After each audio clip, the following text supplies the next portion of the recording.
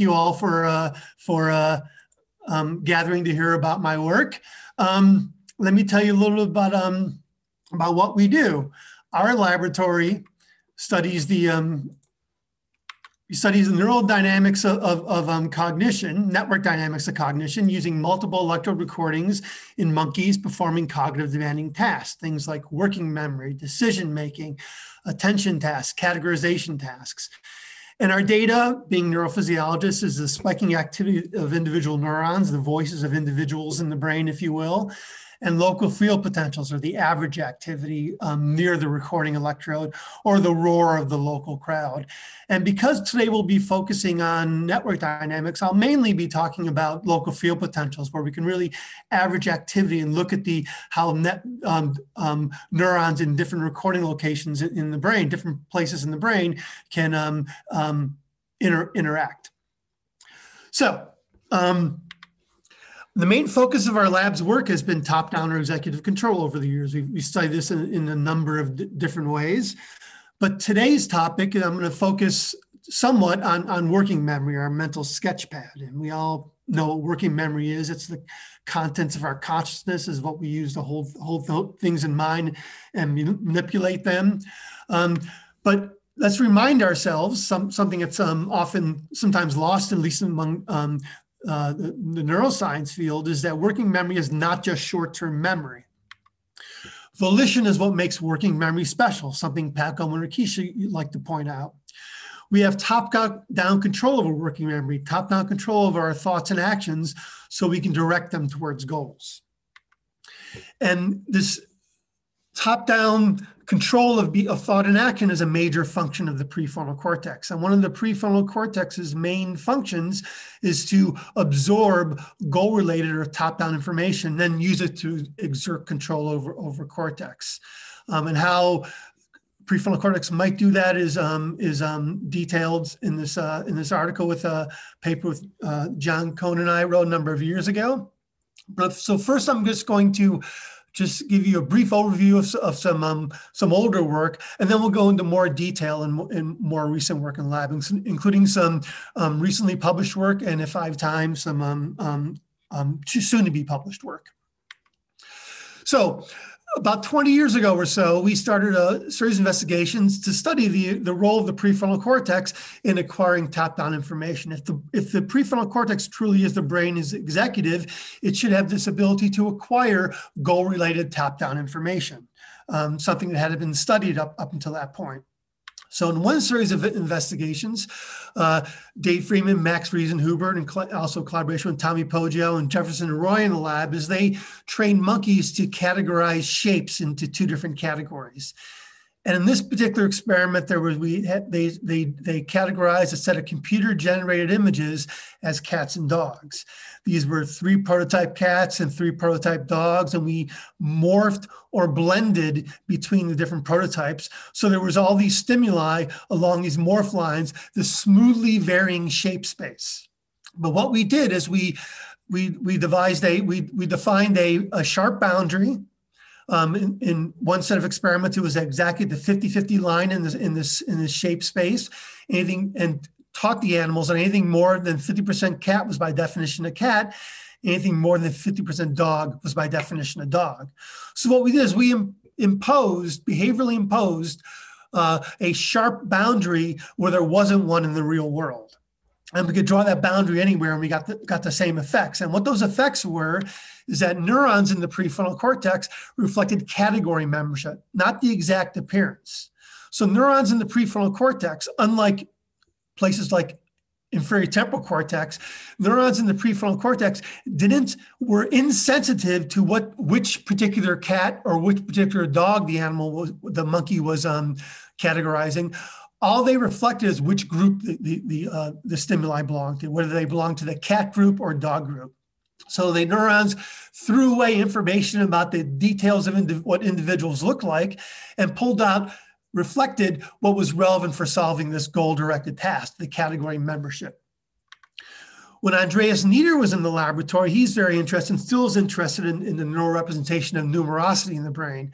But numerosity is another great example of the brain extracting meaning and throwing away the details of exact physical appearance. So he taught monkeys to recognize the small numbers, uh, one through five, and he displayed these numbers with a variety of different shapes or objects or and monkeys were trained to recognize these numbers irrespective of the how they were displayed.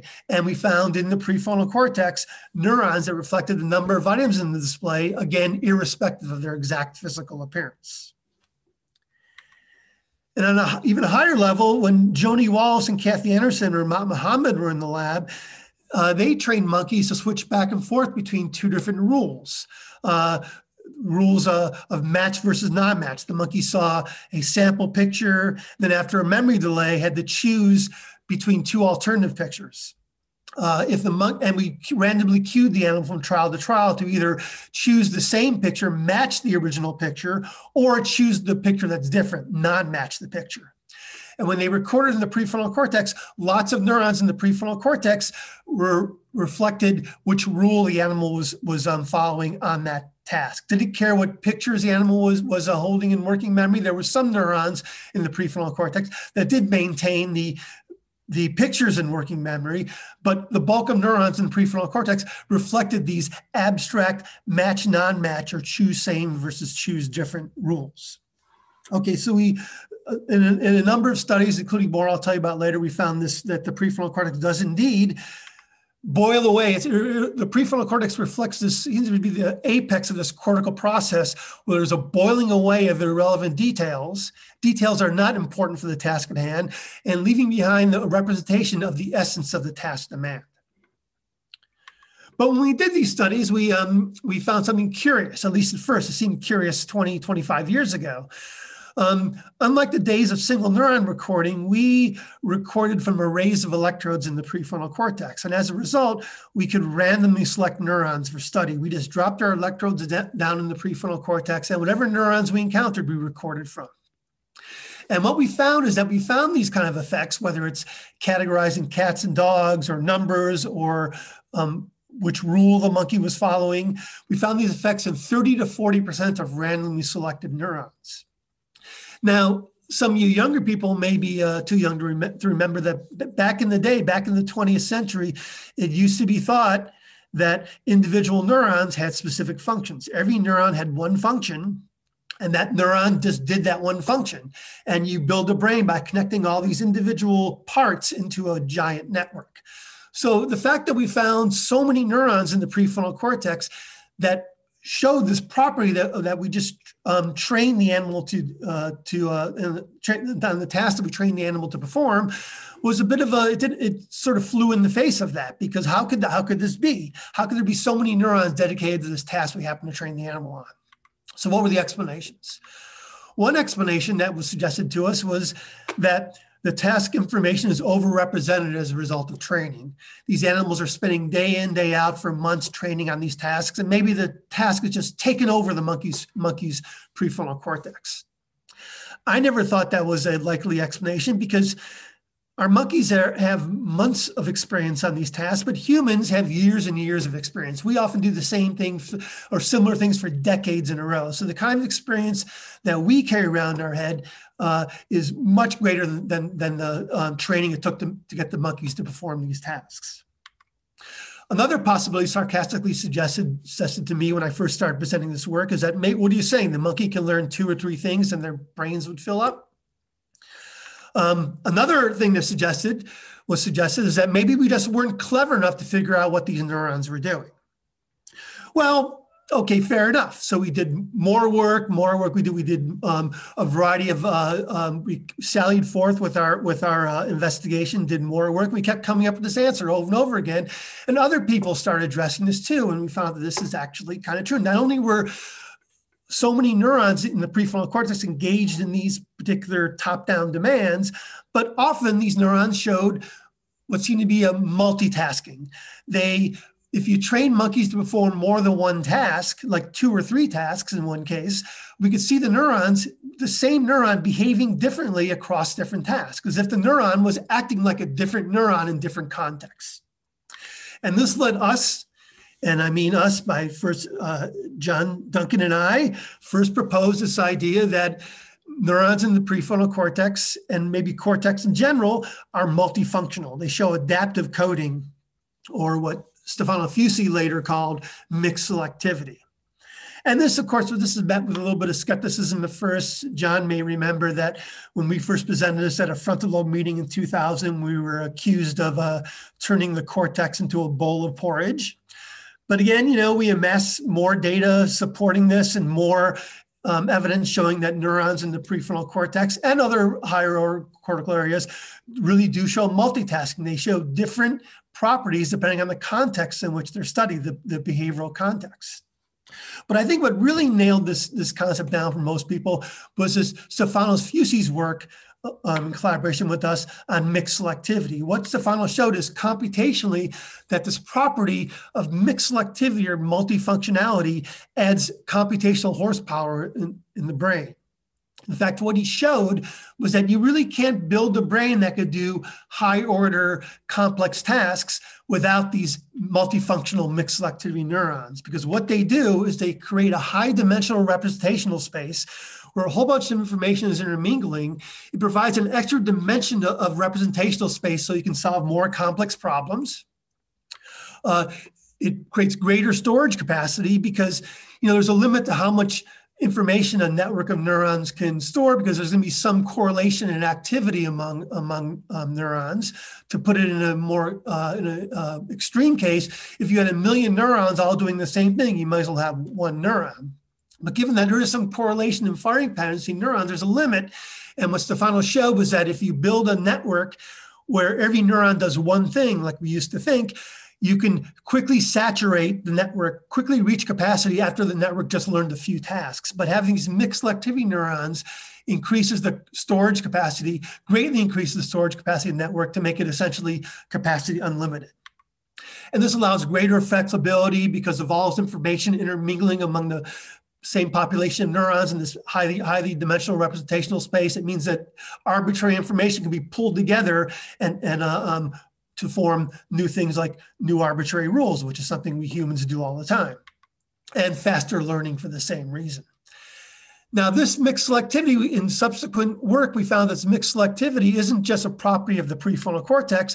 We see evidence for it all over cortex. It's more, it reaches its apex in the prefrontal cortex, but we can see this at almost every level of cortex, um, even back in, in high order visual cortex. Uh, and if you want to know how the brain creates nice stable representations because the brain needs to have stable representations to come up with a clear coherent um, clear answer. If you want to know how the brain creates these stable representations given this high dimensional space where all this information is impinging on the same neurons i point you to a recent work by leo kozachkov a graduate student in my lab who shows computationally that using known mechanisms that that exist in the brain, things like anti-Hebbian plasticity and inhibition, you actually the brain can create these nice stable representations in this high dimensional space. But mixed selectivity um, raises another problem. In addition to us thinking, us being the field, thinking that you, you used to think that every neuron had one function, used to think that that that thoughts and actions, volitions, perceptions are all based on a, a, unique ensemble. If you have a unique thought, an image of your your uh, your grandmother, um, that means there's a unique collection of neurons that corresponds to that thought, that perception, that memory. But mixed selectivity means that neurons participate in multiple ensembles. And I've illustrated this here. We have two ensembles, one for the purple ensemble for think thought X and the pink ensemble for think thought Y. And what mixed selectivity implies is that you have ensembles stacking on, on top of stacking on top of ensembles, meaning that many neurons participate, these mixed selectivity neurons participate in multiple ensembles. Well, the other thing we used to think is that anatomy was destiny in the brain. If, uh, if two neurons are connected together and they share a strong synapse, well, if one neuron fires, the other neuron's going to fire You can throw a few gating mechanisms in there, but that's essentially the way we thought every, everything worked. Well, if this is the case, if, if neurons participate in multiple ensembles, and anatomy is destiny, how do you select a single ensemble? If I, if I want to think X, activate the purple ensemble, well, the anatomical connections will cause activity to run to all the pink ensembles. Pretty soon you have all both ensembles activated simultaneously, and you have a, a mishmash, a mush of thoughts. Well, one suggestion for solving this problem is that neural ensembles may be formed by synchronizing brain rhythms. We all know that the brain is highly rhythmic. Uh, it oscillates at frequencies from one hertz to 100 hertz or more. And one possibility proposed by first by Wolf Singer, then carried forward by Pascal Fries, Andreas Engel, and others, including our lab, is that the way you ensembles are formed is you get the constituent neurons for each ensemble to synchronize their rhythms. The idea is that neurons that hum together temporarily wire together.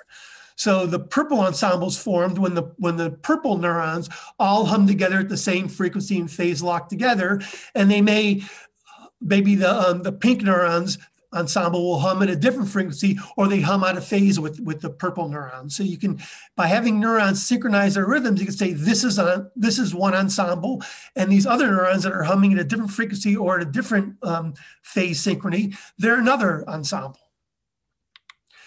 So this allows one ensemble to be selected from overlapping anatomy by just synchron- by the synchron- these synchronized rhythms. And this may endow cognitive flexibility because if you want to change your mind, change your thoughts, learn something new very quickly, you don't have to rewire your brain with every thought. You simply change which these patterns of ensembles, of synchrony, by these shifting patterns of resonance, you can quickly change, activate different ensembles, and um, have, and have cognitive flexibility. So the way to think about the way we think about now, the analogy is that anatomy is not destiny in the brain. Anatomy is possibility. Anatomy is the road and highway system. Spikes carrying information are the traffic, and these patterns of oscillatory resonance are what directs the traffic. Okay? So when Tim Buschman was in the lab, he's now a, a professor at uh, Princeton University. When he was in the lab, he decided to look at this directly. And what we did is we trained monkeys to switch back and forth between two rules. Uh, the one rule was pay attention to the color of the stimulus. The other rule was pay attention to the orientation. The monkeys viewed either a vertical bar or horizontal bar, and the bar was either red or blue. And on different trials, we cued the monkey report the color of the bar or another trial, we cue the monkey report the orientation of the bar. And we set these up in opposition so we were, we were sure the monkey was paying attention to the dimension that we instructed the monkey to pay attention to. So the monkey is randomly cued from trial to trial, pay attention to color, the color rule, or pay attention to orientation, the orientation rule. Then what Tim did is he looked across, looked at LFP synchrony across different recording sites in the prefrontal cortex. And that's what's shown here. Here's a representation of our monkey's prefrontal cortex. This is the arcuate, so this is the lateral prefrontal cortex. It would be right here on my head. This is posterior. So this is, would be the frontal eye fields back here. Here's anterior. The monkey's eye would be here looking forward. And all these circles are different recording sites where we had electrodes um, in the prefrontal cortex these simultaneous uh, recording electrode arrays. And the colored lines um, connect recording sites whose LFPs showed an increase in synchrony when the monkey was performing the color rule in pink or the orientation rule in blue. Now we looked across, by we, I mean Tim, looked across all frequencies for these effects and he found that they were limited to the beta band, 12 to 30 hertz. They weren't in lower frequencies and they weren't in higher frequencies, gamma frequencies. They were limited to the beta band. And what he found is there was an increase, a unique pattern of beta LFP synchrony in the prefrontal cortex for one rule versus the other. And you can see that here. There's a lot of overlap. Some recording sites participate in both of these um, neural ensembles, these rhythmic ensembles, but they're unique patterns of ensembles for, for each, each rule. So this fits with our idea that uh, that uh, hypothesis that rhythms, synchronized rhythms, help form neural ensembles. A color beta rule ensemble versus a orientation beta rule ensemble formed by beta rhythms. And more recently, Dimitris Pinotsis, um, who was in the lab recently, but now is at University College London, he's carrying this work further by, by looking at, at how these networks oscillate together and how we can define networks operationally, ensembles operationally, using things like synchron synchronized rhythms. So once we had that effect in hand, we decided to look for um, more examples of it. And Evan Antzoulatos, when he was in the lab, he's now at UC Davis, um, he trained monkeys to um, categorize locations on a computer screen as being up or down. And he varied the exact definition of up and down for trial trials. So the monkey wasn't simply memorizing places on a computer screen. The monkey was truly doing an up versus down judgment. And what he found is the same effect. He found that there was different patterns of ensembles in beta, different patterns of beta synchrony between LFPs and different recording sites, both within the prefrontal cortex and between the prefrontal cortex and posterior parietal cortex for the different spatial categories. One configuration of beta synchrony for up, another configuration of beta synchrony for down. And this happened both within the prefrontal cortex, within the parietal cortex, and between the two areas.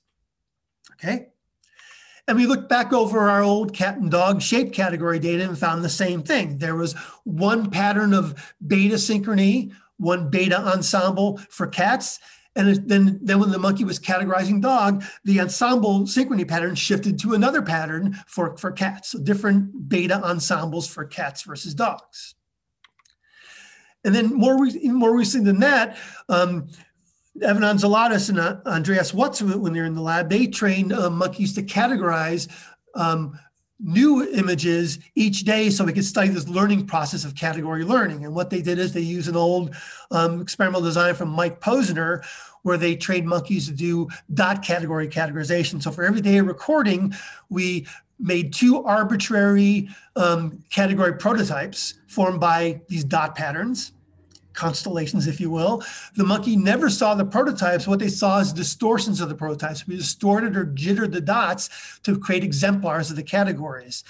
And we trained the monkeys until they could learn new categories within a single three hour recording session. And what we found is these beta ensembles actually we actually, saw them forming as the monkey was learning learning the category information. So first the monkey's guessing trial and error and there's no evidence of these unique ensembles for uh, for one category versus the unique rhythmic ensembles for one category versus the other. But then as the animals acquire the category information as they begin to really learn the categories and there was often an aha moment where the monkey suddenly got the category and there was a state change in the monkey's behavior at that moment, when the monkey acquired the category information, all of a sudden there was this unique ensembles formed in the beta range, beta band for one category versus the other. And that's pretty compelling when you when you actually see these ensembles forming in, in parallel with the animal's learning of, of top-down information. So with this in mind, let's turn to the title of my talk, which is uh, working memory. How do you hold thoughts in, in working memory, this men, mental sketchpad? Um, for the past 50 years or so, the classic model has been persistent spiking of neurons. Examples from people like Pat Goldman-Rakic's lab, Joaquin Fuster's lab. This is a groundbreaking studies that show that, that when you cue, show the animal a picture or cue it to a spatial location that it has to hold in mind, hold in working memory, what happens is, is that uh, neurons are activated by that stimulus. And then when the stimulus goes away and the animal has to hold that stimulus, that picture, that spatial location in working memory, there's elevated activity in places like the prefrontal cortex and parietal cortex that seem to maintain that information in working memory. So here's an example here of this is average spike rate. You show the animal a cue, there's an increase in spike rate. And then over this working memory delay where the monkey's holding the cue in working memory, the activity drops a bit, but remains above baseline. Once the monkey makes its response and the working memories are no longer relevant, activity drops back down to baseline. So this is a compelling um, this is a compelling um, model because what it suggests is if, if you want to hold something working memory, you activate an ensemble and just keep that ensemble in its active state the whole time you're uh, you're maintaining and working memory. But um, more recently, since we've um, the field has turned around to using multiple electrode technology, there's more random sampling of, of, of neurons and cortex. And what a number of investigators have shown, our laboratory, um, Tanya Pasternak, um, um, Mark Stokes, among others, have shown that in if you look in real time on single trials, and when you're recording from when you have um, data from multiple electrodes, you can do things like look look in real time because you, you can look across different recording sites to average activity uh, in real time rather than having to average activity across multiple trials. If you look on single trials and across the population of these randomly selected neurons, it seems that most neurons in these areas that are supporting working memory, like the prefrontal cortex, don't show what looks like persistent activity. They show sparse and bursty activity. They spike every once in a while and don't show the sustained, sustained activity. And this led to updates to the classic model. Um, one of the, one of the um, first updates was from Paco Rakesh herself, who in one of her last papers um, showed that in the prefrontal cortex, spiking um, induces temporary synaptic weight changes between neurons using these calcium dynamics that last about under one second the spiking actually t- temporarily changes synaptic weights, and that she proposed that working memory is actually a combination of spiking activity and the synaptic weight changes induced by the spiking. There's also the uh, more recent the activity silent model of uh, Mark Stokes and the dynamic attractor network model of Mikael Lundqvist, which I'll tell you more about because Mikael's model, in addition to showing the sparse and how sparse and bursting and synaptic weight changes can maintain working memories, also brings in these oscillatory dynamics. The point of all this is spiking is not doing all the work. It's helped along by temporary impressions, synaptic weight changes that spiking leaves in networks. So spiking is happening every once in a while, and in between bouts of spiking, there's these synaptic weight changes, these impressions that carry the working memory between these bouts of spikings. This saves energy because spikes cost a lot of energy, but it also makes working memories more robust because computational studies have shown that if you just store memories by persistent activity, it's really easy to disrupt those memories. A distraction comes along, you add a second item to working memory, and it changes the original um, dynamics and the, the, it messes up the memory. Um, synaptic weight changes are more, more robust, less, less prone to interference than persistent activity alone. So I'm going to tell you about the, uh, the model we tested for this is a dynamic attractor model of Mikael Lundqvist, who not only pr- proposed this kind of activity silent dynamics with synaptic weight changes, but proposed that um, network dynamics, oscillatory dynamics of two different frequency ranges play an important role. So let me get into that right now. What this shows is this is a test of Mikael's uh, um, dynamic attractor model.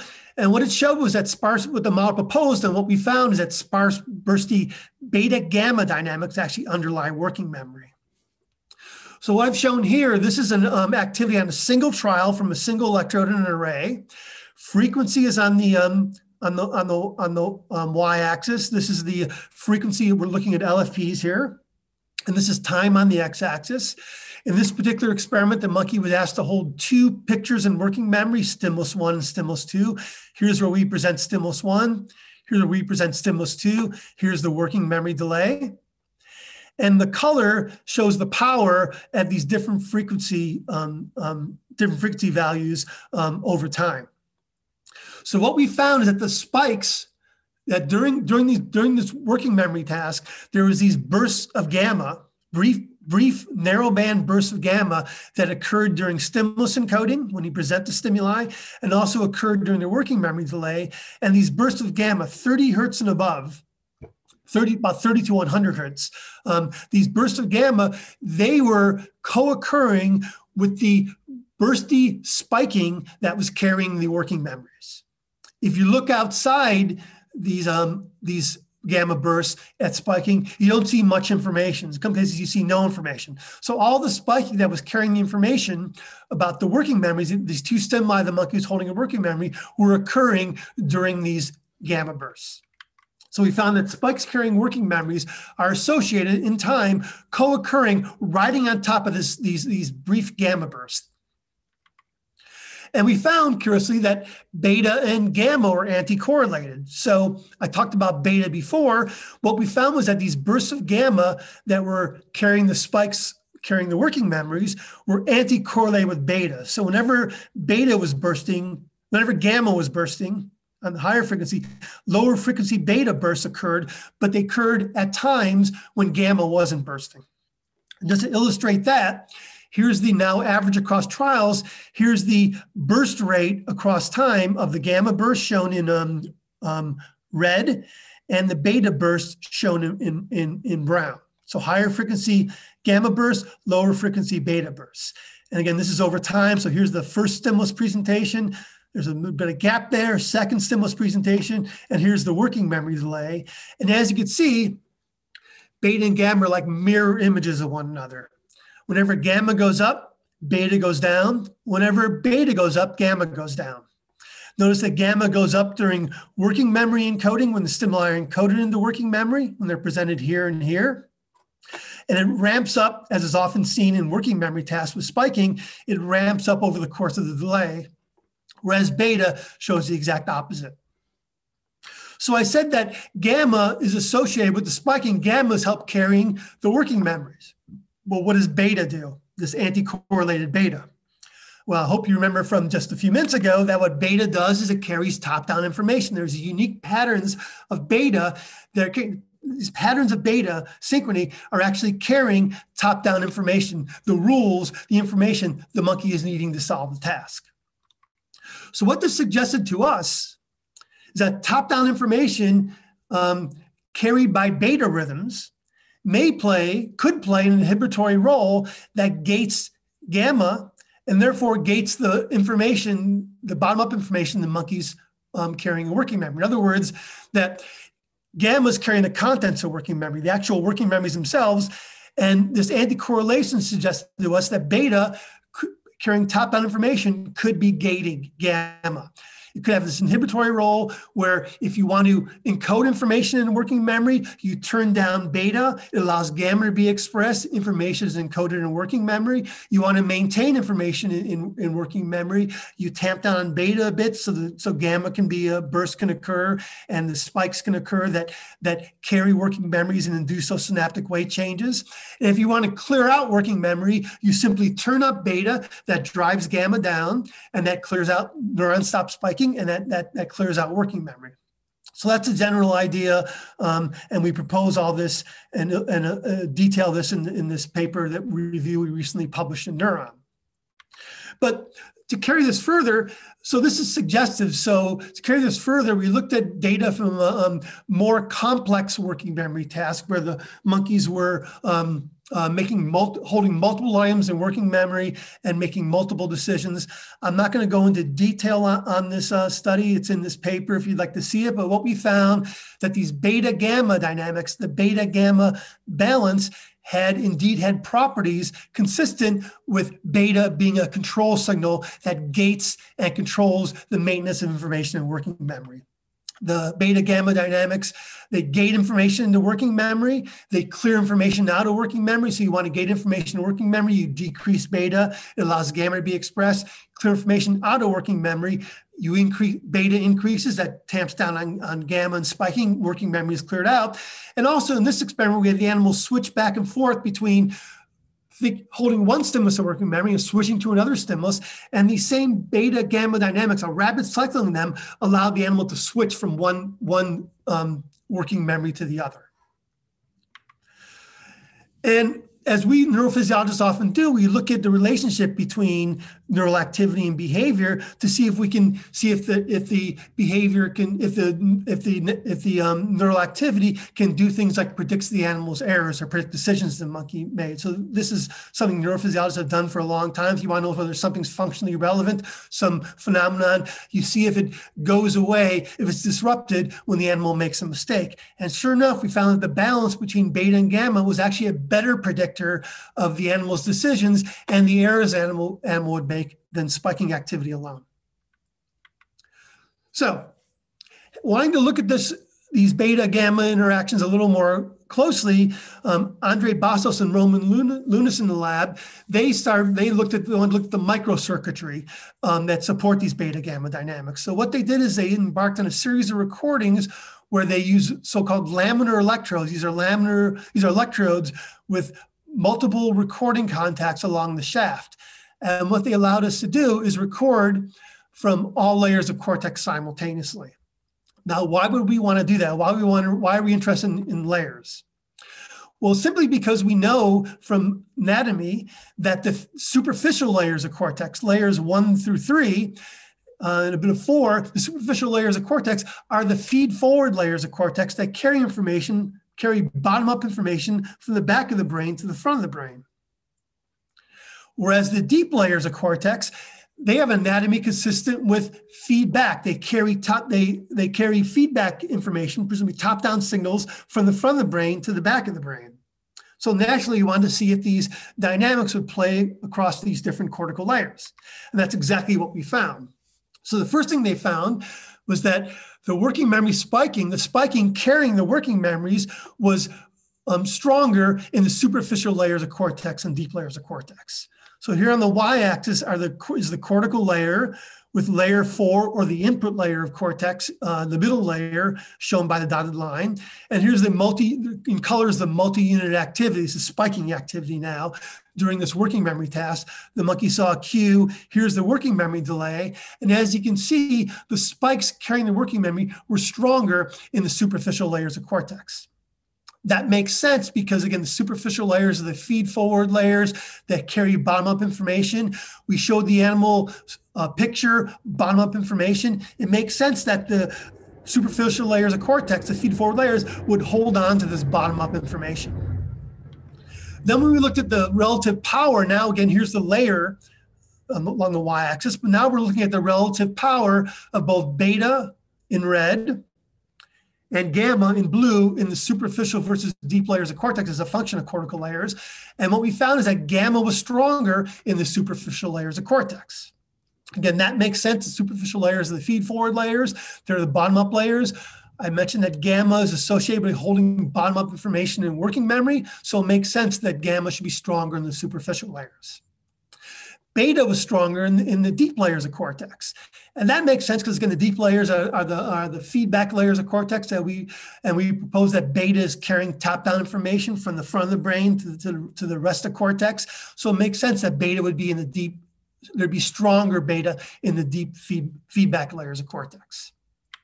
And then these beta and gamma dynamics where these anti-correlation between beta and gamma actually played, played across these levels of cortex. So this is the um, now a power correlation between power in, in beta and power in gamma. Um, with the layer providing beta, either the superficial layer or deep layer on the on the x-axis, and the layer providing gamma, deep versus superficial on the y-axis. And what these colors just simply show is that these beta gamma dynamics um, um, anti-correlation occur across the deep and superficial layers of cortex. If beta is high in deep layer cortex, gamma is low in superficial layer cortex. If gamma is high in superficial layer cortex, beta is low in deep layer cortex. So that suggests this model where the, where the uh, beta is carrying top-down information uh, from the front of the brain to the back of the brain in the deep feedback layers of cortex, and they have this inhibitory or gating role on the gamma carry and spiking carrying bottom up information in the feed forward direction in the superficial layers of cortex. So it works like this. Now, these are top down information carry is carried by deep layer beta. And we found through things like Granger's causality measures of, of LFPs and power between the superficial and deep layers that what deep layer beta is doing, it's regulating the weaker superficial um, layer beta so the, the deep layer, strong deep layer beta is regulating the expression of superficial layer beta. And superficial layer beta, in turn, regulates, inhibits gamma and spiking, allowing um, control over working memory storage. Okay, so that's that's the basic model. It's a circuit for top-down control over, over working memory.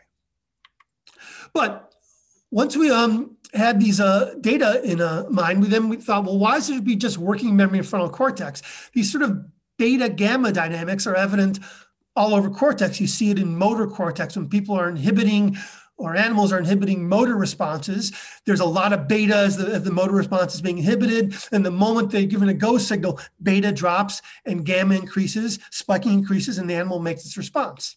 So what we did is we looked across um, recordings, simultaneous recordings from frontal, parietal, and visual cortex. This is a recent um, study from um, Mikael Lundqvist in the lab. And what Mikael found was that everywhere we looked in cortex, whether it's frontal, parietal, or visual cortex, we found these same dynamics, the same push-pull relationship between deep layer beta and superficial layer gamma. Uh, so this suggested the similar mechanisms are at play all over cortex. And just to mention this, um, we found another interesting thing is that um, all, across all bands, LFP um, frequency power actually increases slightly as you go from the back of the brain to the front of the brain. So gamma power uh, increases in frequency as you move forward. And in visual cortex, what's al alpha in visual cortex becomes beta as you gradually move forward to frontal cortex. And I mention that because alpha in visual cortex has been associated with volitional control of attention. So it seems that the same that what beta does in frontal cortex is the same thing that alpha does in visual cortex. In fact, it's the same thing. and It's along a continuum. So now I'm not just going to be talking about beta. I'll talk about the combined um, alpha and beta frequency band as a top-down control mechanism, um, and whether it's more alpha, or more beta depends on where you are in cortex. So we thought well, if this is working all over all over cortex, then it might play a role in something that's ubiquitous to cortex, some fundamental function of, of um, cortex, which is predictive coding. Predictive coding is the brain constantly makes mental models of the environment. The brain's constantly anticipating what sensory inputs are going to be coming in the next second or so. This generates again, ongoing predictions of forthcoming uh, sensory inputs and this allows the brain to suppress full processing of predicted inputs. The brain doesn't need to process predicted inputs because predicted inputs, because they're predicted, are by definition not very informative. And your brain can't process every sensory input coming into it, into the brain, because it would be quickly be overwhelmed. And then unexpected inputs, prediction errors, things that weren't predicted are fed forward to update the meta model. Because they weren't predicted, these unexpected inputs, they by definition are informative. So there's a lot of behavioral evidence behind predictive coding, um, but how it's implemented in the brain is less clear. Many models use specialized prediction circuits where at every level of cortical processing, there's these specialized circuits that look for this mismatch between prediction and input, or look for what's called these prediction errors, and then pass it forward um, for, the, for the next level of processing. That's possible, but we think there may be a more parsimonious explanation. Namely, that alpha, beta, and gamma rhythms can support predictive coding in, in the same way they can support working memory storage in, in a similar fashion. Namely, that predictions, alpha, beta, carries predictions from higher order cortex down to lower cortex. And these alpha beta rhythms inhibit the gamma spiking in pathways that process the predicted sensory inputs. In other words, these alpha beta dynamics are targeting the representations back in sensory cortex that would process the predicted input when that input appears. And then by inhibiting them, they prevent those um, um, stimuli, those predicted inputs, to be fully processed. And that means prediction errors are simply the gamma and spiking that occurs in pathways, sensory cortical pathways, that are unaffected by these alpha beta um, prediction signals, these feedback prediction signals. So you don't need specialized circuits to detect this mismatch. All you need to do is inhibit the pathways with alpha beta that would process a predicted stimulus. And every unaffected pathway is by definition a pathway that feeds forward a prediction error. Okay? So we tested this in a, in a recent paper, just appeared last week in a PNAS, uh, work in collaboration with uh, Nancy Kopell's lab, where we recorded from laminar recordings in um, in all these different areas and prefrontal cortex, frontal eye fields, parietal cortex, um, area V4. And we used a task where the monkey was doing delayed match to sample. So we knew the monkey was always engaging with the stimulus, but we had the animal perform this task in two different blocks of trials. In one block of trial, the sample stimulus was always the same for 50 trials. It was totally predictable. Then another block of trials, there was three sample stimuli possible, but they were chosen randomly from trial to trial. So these sample stimulus was, was unpredictable. So we had these two states, the monkey's performing this task with a predictable sample object or doing a block of trials or it's performing the same task with unpredictable sample objects.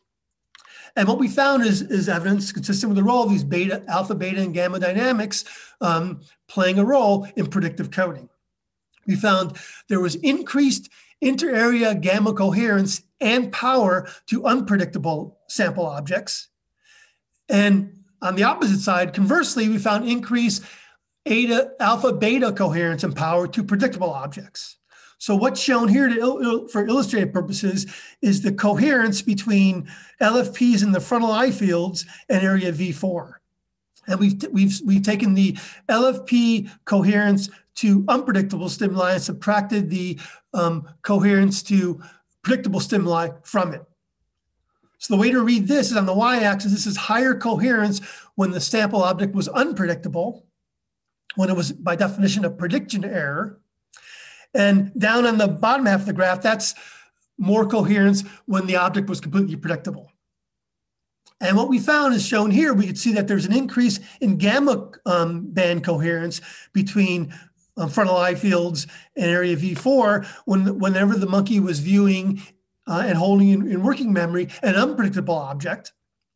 And there was an increase in alpha beta coherence in the opposite situation where the monkey was viewing and holding in working memory a predictable object. I've also also you see an effect of theta here. What often happens in cortex is um, in cortex theta is weaker than it is in the hippocampus, so you don't often see theta. And when you see, do see theta, it tends to co-track with gamma. For instance, even if you don't see theta, gamma bursts tend to wax and wane with uh, in in, um, in, in, theta periods. So there's some cross frequency coupling between theta and gamma. So it seems like theta and gamma are both playing a role in the contents of thoughts, whereas this band in between alpha beta is playing the control um, signal role, controlling uh, um, processing of um, not only what you hold in working memory, but also um, uh, gating um, the processing of bomb up information in cortex. So this is just between frontal, this is for illustrative purposes, the, the results we found between V4 and, and frontal eye fields, visual cortex and frontal cortex. The same dynamics played out all over cortex. So now here's all the areas. Here's our parietal cortex areas here. Here's our frontal cortex areas. This is visual cortex. Here's the four different frequency bands from theta, alpha, beta, and gamma. Uh, the thickness of the line illustrates um, the degree of coherence between the areas, or in the case of the boxes, the degree of co coherence within, within the area. And the color of the line shows whether there was more coherence when the, when, um, when the stimuli, when the sample object was unpredictable, shown in red, or predictable, shown in blue. And you can see that both for both gamma and theta, um, they um, generally there, there more, there's more coherence in gamma and theta for unpredictable objects. Whereas in the alpha beta range, there's more alpha beta coherence both within areas and across areas um, when the objects were, were um, predictable, supporting the idea that alpha beta is carrying the predictions and gamma is carrying, helping carry the, the prediction errors, the feed forward signals of, um, for unpredictable objects. Now, I'll mention that parietal area 7A was an exception to, to this rule. And that actually made sense because Nancy Kopell's lab has shown that um, um, high alpha, low beta rhythms in, in area 7A in particular, in her, her, her models, may have, a particular role in updating um, um, work, the contents of working memory. But two things noteworthy here is that not only were these network dynamics consistent with this idea that alpha beta is carrying predictions and gamma is carrying the unpredicted um, prediction errors, the feed forward uh, prediction errors, is that gamma coherence was stronger in the feed forward direction from the back of the brain to the front of the brain, as, as one might expect if this model was true. And the alpha beta coherence was stronger in the feedback direction from prefrontal cortex back to the rest of the brain. And importantly, these effects were stimulus specific. These effects were strongest, the changes in power in alpha, beta, and coherence, uh, alpha, beta, and gamma power and coherence. They were strongest at the recording sites in sensory cortex, in sensory cortex where spiking preferred that particular, that specific unpredicted or predicted stimulus. So, so this isn't a general, these alpha, beta control signals and gamma dynamics aren't just generally turning on and off processing, they can target representations of specific stimuli, which is what you need if they're going to play a role in, um, in predictive coding. So I see I'm running out of time. One last thing I was going to tell you about was some unpublished um, data, um, which I'll save for another time. But just to give you a 10 second summary, um, the brain is highly lateralized and even working memories if you present on one side of vision working memories are stored in, in one side of the brain or the other side of the brain. We did this recent experiment that we're now um, preparing for publication uh, where we used a behavioral trick to get the animal to move the working memories back and forth between the two different um, hemispheres, between the right and left hemispheres, and the same beta gamma dynamics were involved when the working memories were transferred between the right and left brains. So skipping ahead that for another time, maybe, I'll just get to my summary. We across all these studies, we find that uh, um, alpha beta is like a control signal that feeds back top-down information through cortex. It regulates the expression of gamma that traffics bottom-up sensory information in other words, the contents. And we think of this as a modal cortical circuit that plays a role in top down control of cortical processing in general, not just control of working memory, but control of attention, uh, predictive coding, and even in our recent study, even the transfer of information um, between the cerebral hemispheres when that, when that needs to be done in, in the context of a, of a goal directed task. So I thank you for your attention, and I'm happy to take any questions you might have.